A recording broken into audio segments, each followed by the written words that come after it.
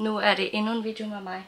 Øhm, nu kommer min længe ventede julekalendersamling. Øhm, jeg er overrasket, fordi at jeg har bogstaveligt talt den her gang gået over gevind.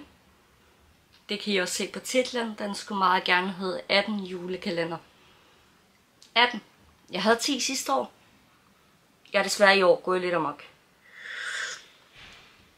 med mange forskellige julekalender. Jeg fik lige lavet mange op julesæt, Det synes jeg passede i anledning i dag. Og derfor har jeg også min juletrøje på. Det synes jeg passede meget i starten i den her julekalendersamling. Så ja, nu tænker jeg i hvert fald lige, at introen var her, og så ser vi ellers hvad... Og så skal vi bare komme i gang med min kæmpe 18 julekalender. Så jeg håber, I vil se med. Jeg har dem stokket lidt op rundt omkring, men nogle af dem har I set i nogle videoer. Og nogle af dem har I ikke, I har ikke set dem alle. I kan se nogle bag mig, men det er ikke alle, I har set. Hvis vi starter med dem, der er på sofaen, hvor jeg sidder. Så har jeg som sædvanligt denne her. Men heldigvis har jeg en kammerat, der gav mig en julekalender igen. Eller en, så jeg har to af dem. Det bliver meget spændende. Og så har jeg denne her. Og igen den samme som sidste år af dem her. Der er nogle af de samme med i den her omgang, men der er også nogle nye i år. Og så har jeg en adventskalender her, som er easy. Den havde jeg ikke prøvet før, men hvordan den bliver og hvordan den ser ud, at stå, ser ud kommer en anden video, når jeg pakker det ud og pynter op til jul. Der kommer I, i hvert fald til 100% at se, hvordan jeg stiller min julekalender i år. Der skal i hvert fald ikke gøres noget anderledes, før at jeg kan gøre det, så ja. Skal vi så ikke bare lige komme videre til næste? Og næste julekalender er en ansigtsmaske for Garnier. Øh, det er ikke en lala julekalender, der er kun til 12 dage, så det er hver anden dag, jeg skal åbne den. Det bliver meget spændende. Så jeg tænker i hvert fald, at jeg gør det sådan. Nu må vi se, hvordan det bliver, når jeg filmer min... Øh, jeg åbner julekalender sammen med jer. Så ja. Det var i hvert fald den ene af dem. Og så har jeg, som I også har set i en video, lige Jord sjov julekalender her. Og hvordan den ser ud indeni, den tænker jeg godt, at jeg lige kan åbne, fordi jeg er selv spændt på det sidst jeg skulle gøre det her, var, den, var der lidt ballade med den.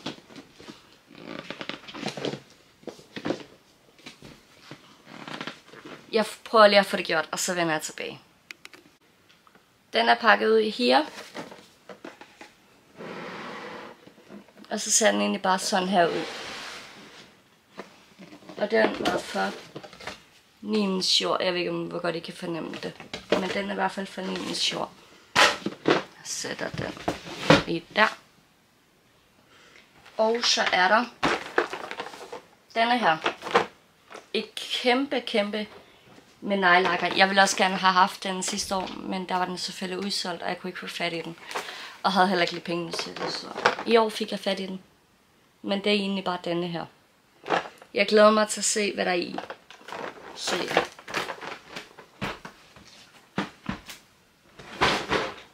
Der væltede den. Og som I har set, jeg ved ikke om det kom i Københavnerbloggen, men den første julekalender, jeg faktisk stokkede op på, var The Body Shops julekalender.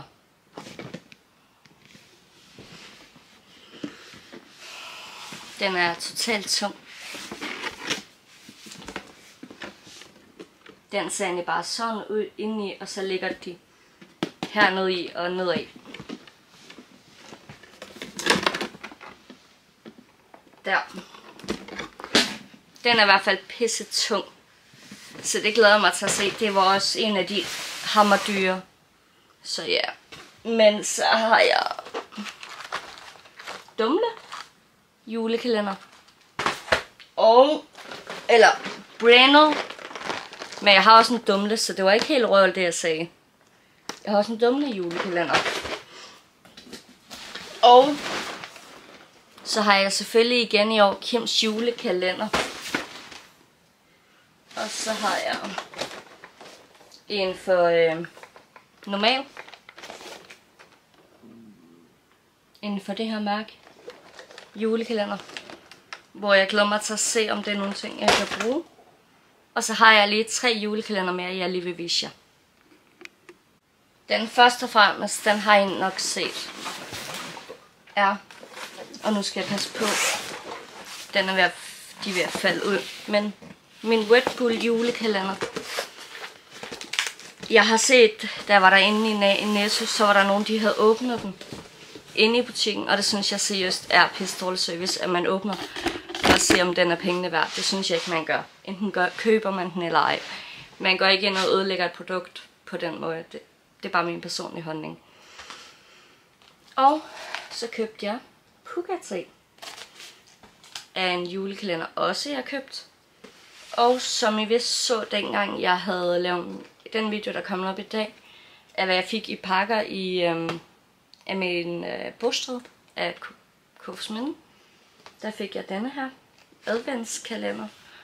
Og den sidste er min store Maybelline adventskalender. Jeg ved godt, venner, at den her video ikke blev særlig lang. Men jeg håber trods alt, I har nyt at se med i, øh, hvad jeg har af julekalender i år. Og så ses vi en gang i december, hvis ikke før. Jeg er ikke sikker. Jeg tror, det her det bliver den sidste video inden december, at jeg lægger den op. Så nu må vi se. Hej!